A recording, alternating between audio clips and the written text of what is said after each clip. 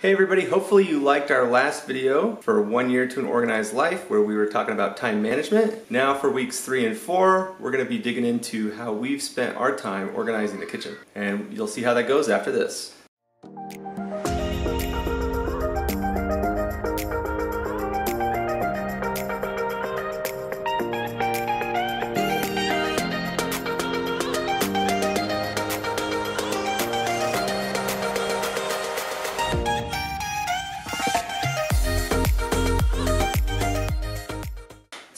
First up for week three, we had to answer questions in our journal about things that we liked about our kitchen and things that we didn't like about our kitchen. And so we went through that. And then we had to also focus on things that we might want to change, whether Mm-hmm. it was moving things around in a way that was easier to use in the kitchen, or if it was even like Blow out some walls, which Yeah. thankfully we don't have to do. redoing stuff. And we do have a few things that we need to finish up in the kitchen. We have to change the microwave Yep. and we have a little bit of backsplash left to do. But other than that, there's not really anything huge that we have left to do. So our favorite part about week three was called speed elimination. So for speed elimination, you set at least a 15 minute timer and you go through and open all your drawers and you just very quickly, in about 15 minutes, look and see what you know you absolutely can live without. Helps to go through with whoever you're doing this with so you don't accidentally throw something away that they're interested in.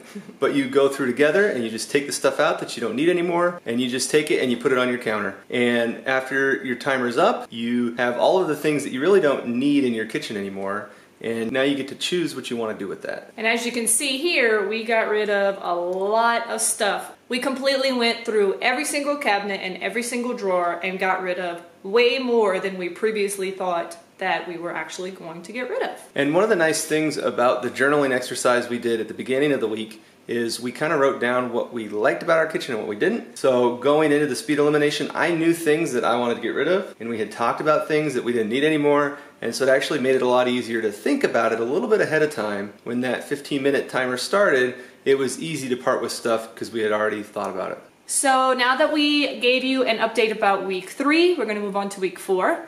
And week four was all about actually organizing the kitchen and the pantry and putting your things into categories so that everything that you need for one activity or one time of cooking or whatever it might be is all in one space. And an example of that might be instead of having all of our utensils for eating and baking and measuring and cutting and stirring and peeling, all of those things in one drawer, we decided to break those up so our silverware is in its own drawer and our baking and other cooking utensils are in their own drawer. And so by doing that, we're able to get all of the baking utensils near all of the baking bowls and the mm-hmm. baking measuring cups and the KitchenAid and stuff like that. And so now if somebody were to be baking in this house, it would be a lot easier because everything they need is in that one section. So the biggest thing that we did is we put all of our cooking supplies on one side of the kitchen and all of our eating and food storage supplies on the other side of the kitchen. So this was my favorite part of organizing in week four, and that was redoing the pantry. And we had some stuff to organize the pantry, like these little white wire shelves. Um, but I wanted, you know, baskets and clear buckets and just things that made the pantry look a little bit more put together. And it's really nice to have this because like for the chip basket, if we want to have chips at dinner or lunch one day, we can take out the whole basket. Or the girls can come in here and they can see the snacks rather than just a bunch of boxes and um, you know, cracker wrappers all over the, the counter. And then over here, we have, you know, we got a new shelf for all of our cans, and Joey really likes coffee. All of my, all of my coffee syrups. All of his coffee Don't judge, syrups. you like it too. So we were able to put that, and so we have all of the coffee supplies rather than it just being shoved on the counter. We have everything tucked away, easy to grab, including our hot chocolate, teas, coffee, drink mixes. Just it's all nicely tucked away, but very easy to access. So we got some containers like Kim showed. We've got our baskets. There's other things that we want to do. We want to take some of these baking supplies like flour, rice, brown sugar, and we want to move them into containers. But we're trying to be responsible, and since we do a budget every month, and it's the third and fourth week of January, we didn't have enough money set aside to buy all the containers we need. So we're going to be budgeting for extra containers in February, and we're going to be purchasing some Rubbermaid Brilliance containers, which are airtight and they're like baking pantry storage containers. So hopefully with those new containers and some Lazy Susans, we'll round out the purchases we need to finish organizing this pantry in February. But we have made such a huge difference, and it's already so much more functional than it was. I know exactly where everything is.